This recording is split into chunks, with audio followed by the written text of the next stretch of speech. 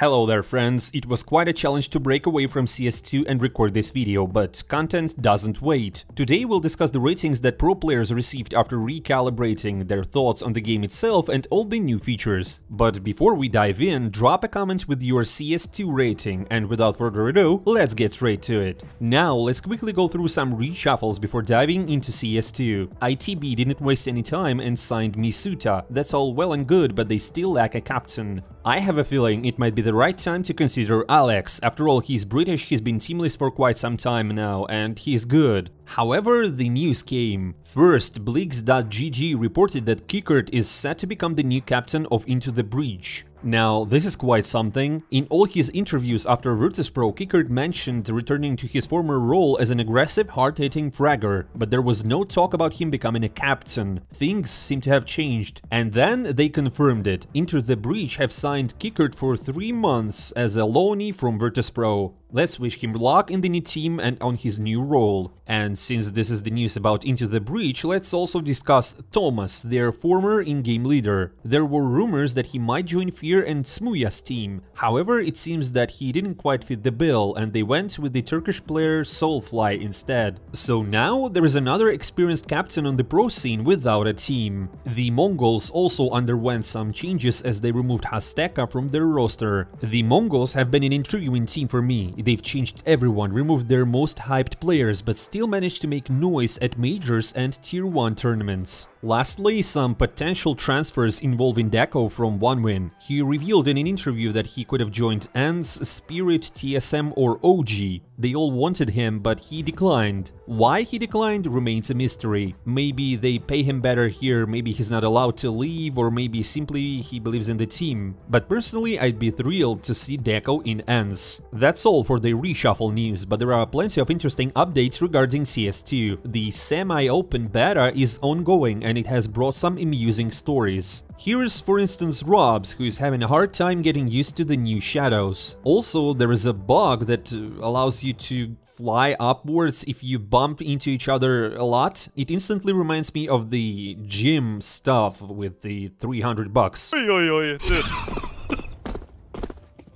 what?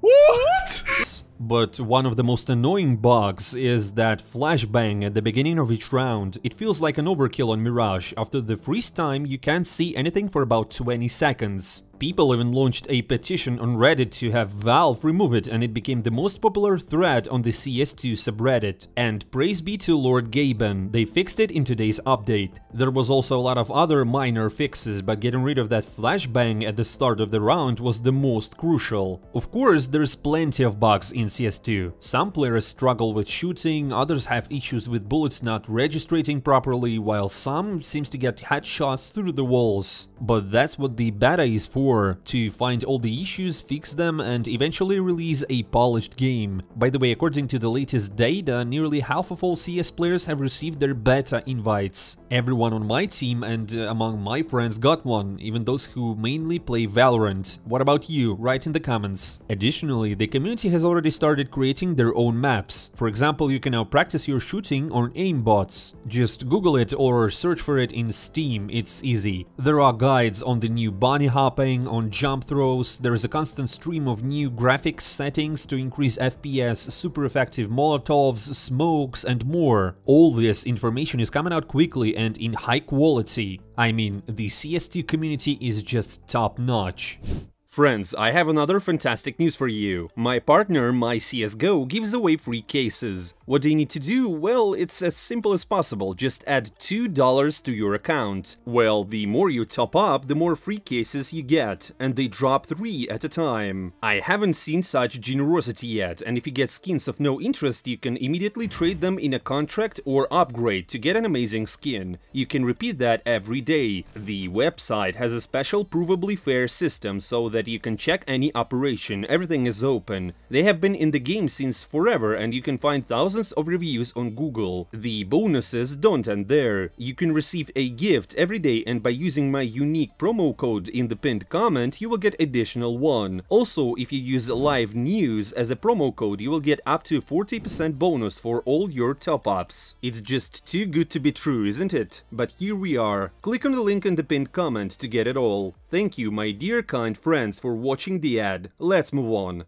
But for now, let's see what the pro players think about the new game. For example, Kenny isn't too impressed. He mentioned that op flick shots feel random, pistols are very uncomfortable and, you know, you can't play with the left hand, which bothers him a lot. That's probably a trigger for nearly everyone and I saw similar complaints from Rain and many other pro players. Kenny also complained about the tick rate, it feels more like 64. On the other hand, Floppy broke it down. Spraying feels random, pulling down feels bad like my bullets aren't going into the cone I'm trying to produce. Running next to people causes rubber banding. Smokes last slightly too long. I really dislike how goofy player models look while running around and peeking. Doesn't feel like I'm playing a competitive esport. Audio needs to be adjusted. Can't hear correctly and sounds too radio-like. Delay between a smoke landing on top of a molly. Delay when trying to throw a second flashbang after throwing the first one with nade bend. Well, actually I agree with almost every point. Valve still has a lot of work to do. However, JDC is trying to remind everyone that this is not the final version of the game. Everyone bashing CS2 and saying they will retire are clearly missing the point of it being a beta. CSGO in the beta was awful and it turned out to be the best FPS game ever. Give it time and trust. For example, ropz already believes that CS2 is better than CSGO. I've watched a few of his streams, he's a goddamn genius. He spent an hour on Inferno, found several overpowered smokes, flashes and molotovs that I'm sure many pro players will use later. I even had the idea to make the video about players who will excel in CS2 and those who will become the Markeloffs, those who can adapt and will fade into the game's history. If you want me to do such a video, just give this one a like and leave a comment below. Depending on your vote, I will consider the next video. Also, here's what Acre says. Everyone who thinks CS2 sucks right now is stupid. It's perfect the way it is right now. Hashtag adapt. Now let's see what s1mple has to say. He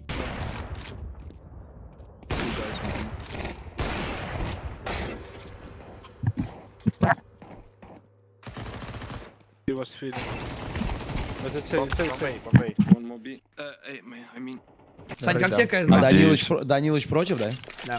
непонятно, пока не сильно нравится. Не сильно нравится? Не сильно. Стрельба, да, очень странная. Да тут, блядь, движения, лаги какие-то, блядь. Задержка граната, задержка оружия. Блин, еще Задержка, блядь. Еще как будто... У тебя чел слева, да? диффузит. У меня зависло. Я маленько подвисла. Что происходит, зависло тоже? пацаны? Да, у меня зависло. Что это вообще за ебнутая игра какая? Во что мы играем, блядь? Просто стреляет, непонятно откуда, все виснет, блядь. А у него тоже, да, наверное, зависит? А вы, поняли, что он слышал вот этого чела слева? Yeah, the, the way how map looks, uh, I like it. I like it a lot. It's so beautiful, yeah.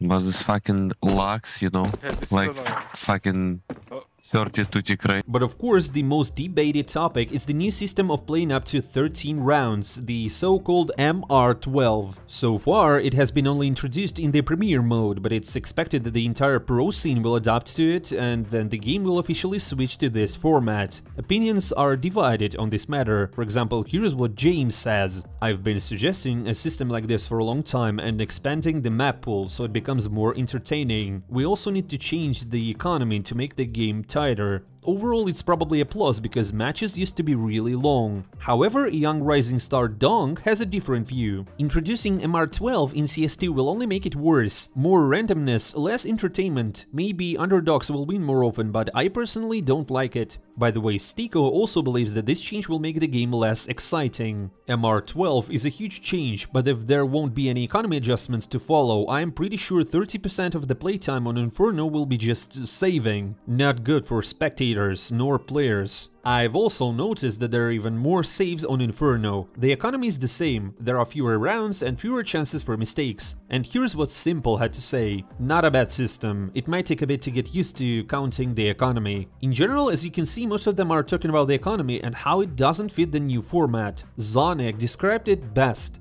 I understand that from the organizers and Valve's perspective, they want it to be interesting for the viewers, but as a coach, I need more rounds to make a comeback. We've seen historic comebacks before. At the moment, I'm only worried about the economy. For example, you're playing a best of one, you lose both pistol rounds, and now it's very difficult to come back. But then again, the old-timer Taz thinks it's all okay and those who complain are just noobs. Friends, what do you think about the new match format? Had you had a chance to try it in the premiere mode already? Write in the comments, it will be interesting to discuss. Now, since we've started talking about the premiere mode, it's also interesting to see how the players recalibrated. Here's some interesting numbers for you. s1mple has over 19,000 points, Olofmeister has 17,000 points, Buster has just under 17,000, Guardian is way over 20,000, just like Rob's. Forrest, the veteran, also got over 20,000 points right away. Everyone thought that the veterans would drop in performance, but their numbers are just as good as today's pro players. But the most amusing thing is that the world's top player has some hieroglyphs in their nickname, and that's all we know about them. Maybe not anymore as the top changes almost every minute, but for several days it was this particular player. ohnePixel decided to get in touch with them and it turned out to be a girl. What a twist. She had about 3000 elo in CSGO and plays in a stack of 5 in North America. That pretty much sums up the level of that region at the moment. She lost only a few times or maybe just once and that was when she faced pro players from Complexity, Floppy and JT. But in reality it's incredibly easy to boost your rating right now. All you need to do is to play as a group of 5 and that's all. I mostly played solo and I kept running into stacks of 5. Usually in those matches you have no chance. Interestingly, I first calibrated on my second account and they gave me like 13,000 elo. On my main, I lost a couple of times towards the end of my 10 victories and they gave me only 8000. It's a strange system considering that I was getting 30 kills in those games, but it doesn't seem to have any impact. In any case, we'll need to look into this further and I think Valve will make some changes into the system. By the way, let me know about your rating in the comments below. And did you get what you deserve or not? But don't get too excited if you already racked up impressive numbers because it seems like all of this will reset when the game officially releases. There's no confirmation of this yet, but data miners seem to think it's going to happen. Well, there's still a lot of discuss about CS2, but let's save that for the next videos. For now, let's get back to the old good CSGO. In case you forgot, we have the ESL Pro League going on and Group A has just concluded. And nothing supernatural happened. Vitality defeated the Spanish team easily in the upper bracket and secured the first place, while Movistar Riders secured second. And you know what? Let's be honest, it was quite an impressive run from the Spanish team. In the lower bracket finals, there was a real showdown between Furia and Astralis. The Danes managed to beat the Brazilians relatively easy and took the third spot. But that's not the end of it, there's still the last chance stage. Surprisingly, NIP ended up here after losing to Furia, and then they were eliminated by Gamer Legion. So, the Swedes couldn't make it out of the group stage. It started off so well, they beat Astralis and planned to go straight to the playoffs, but as we can see, it didn't work out. However, I think Furia surprised us the most. On the very first day they lost 0-2 to the Spanish team and everyone wrote them off, but they made it to the lower bracket finals and then to the last chance stage final. They defeated Gamer Legion in overtime and finally made it to the playoffs. Furia had to play a total of 6 matches to achieve this, meanwhile Vitality played only 3. So here's the outcome. Vitality in the first place, the Spanish team Movistar Riders in the second, Astralis in third and Furia in the fourth. All these teams made it to the playoffs but entered at different stages. NIP, OG, Gamer Legion and Grayhound bid farewell to the championship. Today the Group B started and it's not particularly exciting CS either. The draw is very peculiar, the first two groups are straightforward but the last two are super tough. Let's see how things unfold in Group B. I am confident that Heroic and Ants should secure their rightful first two slots, while MOUZ, Monte and BIG will fight for the remaining two spots in the playoffs. Let's see how it actually plays out. If you don't want to miss out on everything happening in CS2 and CSGO, just subscribe to this channel. And don't forget to hit that like button. Well, and I won't say goodbye for a long time. See you soon.